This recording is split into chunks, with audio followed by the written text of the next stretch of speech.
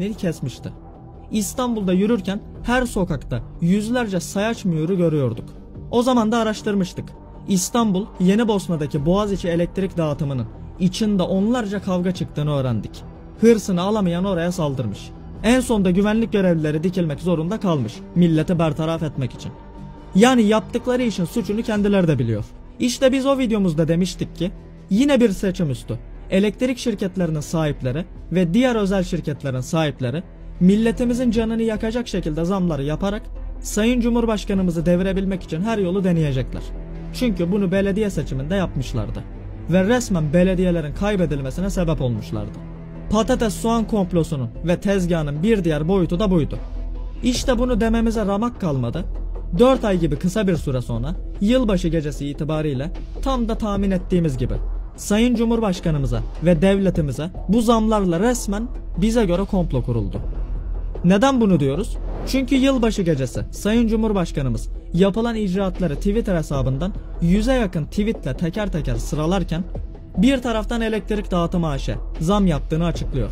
Diğer taraftan Epkis benzine ve motorine LPG'ye rekor zam yaptığını açıklıyor.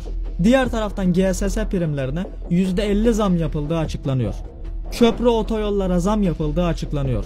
Doğalgaza %25 evlere, %50 ticarethanelere zam yapıldığı açıklanıyor. Şimdi biz bunun altında bir şey aramayalım da ne arayalım? Ve soruyu da şöyle soralım.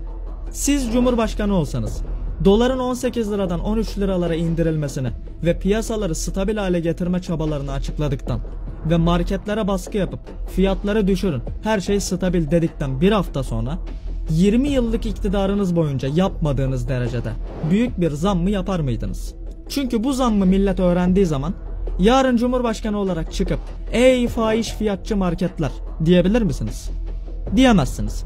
Çünkü adamın elektriğinden tut doğalgazına, benzinine, motoruna varıncaya kadar çılgınca bir zam yapmışsın.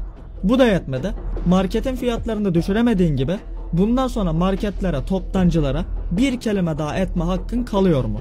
Onu da kaybediyorsun. Bu zamlardan sonra doğal olarak o marketçi yaptığı zamma bir furya daha eklediği zaman enflasyonun nerelere çıkacağını düşünebiliyor musunuz? Sadece yapılan bu zamlarla kalmayacak. Marketçi de yarın çıkacak.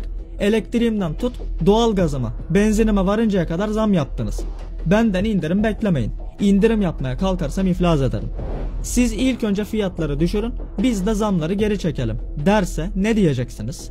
Fahiş fiyatçı, stokçu falan diyebilir misiniz? O hakkınızı da kaybetmiş olursunuz. Yani Sayın Cumhurbaşkanımız şu anda büyük bir kıskaca girmiş durumda.